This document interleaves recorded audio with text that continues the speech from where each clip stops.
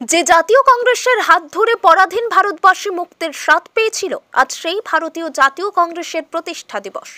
তাই আজকের এই দিনটিকে যথাযোগ্য মর্যাদার সাথে পালন করা হচ্ছে জাতীয় কংগ্রেসের পক্ষ থেকে। আজ আঠাশে ডিসেম্বর সকালে বহরমপুরে মুর্শিদাবাদ জেলা কংগ্রেস কার্যালয়ে সড়ম্বরে পালিত হল কংগ্রেসের একশো আটত্রিশতম প্রতিষ্ঠা দিবস। এই দিন শুধু জেলা কার্যালয়ে নয়, জেলার সমস্ত প্রান্তে কংগ্রেস কার্যালয়ে পতাকা উত্তোলন সহ নানা অনুষ্ঠানের মধ্য দিয়ে যথাযোগ্য মর্যাদার সাথে পালিত হচ্ছে ভারতীয় জাতীয় কংগ্রেসের এই প্রতিষ্ঠা দিবস। এই উপলক্ষে এদিন সকালে বহরমপুরে কংগ্রেসের জেলা কার্যালয়ে পতাকা উত্তোলনের পাশাপাশি মহাপুরুষদের প্রতিকৃতিতে মাল্যদানের মাধ্যমে পালন করা হয় দিনটিকে। উপস্থিত ছিলেন মুর্শিদাবাদ জেলা কংগ্রেস নেতৃত্ব সহ বহরমপুর টাউন কংগ্রেসের নেতা, কর্মী ও সমর্থকরা। প্রতিষ্ঠা দিবস উপলক্ষে। মুর্শিদাবাদ জেলা কংগ্রেস ভবনে প্রতি বছরের মতো এবছরও আজ আঠাশে ডিসেম্বর ভারতীয় জাতীয় কংগ্রেসের প্রতিষ্ঠা দিবস। যে জাতীয় কংগ্রেসের হাত ধরে পরাধীন ভারতবাসীর মুক্তি সূর্যকে তারা সেদিন দেখেছিল পরাধীন শৃঙ্খল মুক্ত হয়েছিল ভারতবাসী।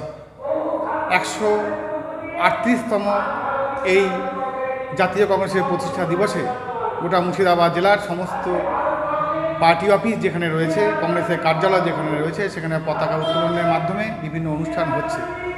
সেই সঙ্গে সঙ্গে আজ বাংলায় ভারত জোড়ো আন্দোলনও শুরু হয়েছে, যা শুভারম্ভ করেছেন পশ্চিমবঙ্গ প্রদেশ কংগ্রেসের সভাপতি শ্রী অধীর রঞ্জন চৌধুরী, পশ্চিমবঙ্গের পর্যবেক্ষক ডক্টর চেল্লা কুমার, তারাও এখানে রয়েছেন। অর্থাৎ কংগ্রেস বরাবরই ভারতবাসীকে একই সূত্রে গাঁথতে চলেছে।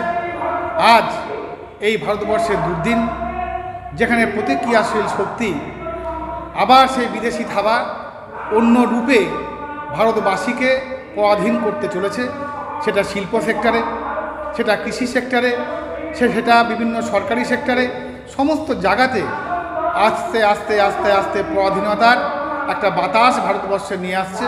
আর তার থেকে আবার জাতীয় কংগ্রেস উদ্বুদ্ধ হয়ে আবার ভারতবাসীকে এক সূত্র গাচ্ছে ভারত জোড়ো আন্দোলন শুরু হয়েছে। প্রিয় নেতা, রাহুল গান্ধী, সাড়ে তিন হাজার কিলোমিটার প্রথম পর্বের যে পদযাত্রা, সেটা তিনি লক্ষ্যমাত্রা করে তিনি শেষ করছেন।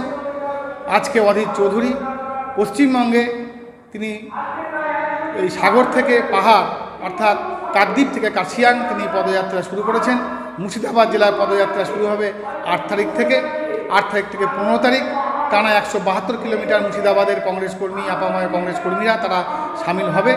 তাই আপনাদের সকলকে আজকের এই পূর্ণ দিনে এই পদযাত্রায় অংশগ্রহণ করার জন্য আম- আমরা আহ্বান জানাচ্ছি। এই পদযাত্রা আপামায় ভারতবাসীর পদযাত্রা, এই পদযাত্রা ভারত গাঁথার পদযাত্রা।